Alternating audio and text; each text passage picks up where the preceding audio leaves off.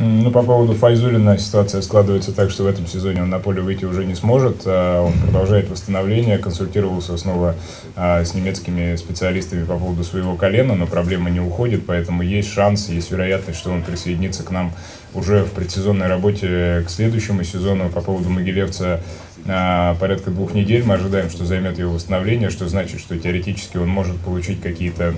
игровые минуты уже в самом конце сезона. А по поводу Ладыгина вся эта ситуация Э, это была просто какая-то комедия, которую пытался разыграть э, Спартак, но, к счастью, все в порядке, он полностью мотивирован, полностью готов, и никаких проблем, ни о чем больше говорить. Никаких препятствий нет, но тут, э, если тренер Ростова посчитает нужным, чтобы Джиба принял участие в этом матче, то он а, может принять участие в этой игре, и наверняка, я уверен, будет действовать очень профессионально, настолько же профессионально, насколько а, профессионально он будет действовать в следующем сезоне, когда станет нашим игроком, но эта ситуация, этот вопрос, он больше касается Курбана Бердыева, а не меня, поэтому мне здесь нечего сказать.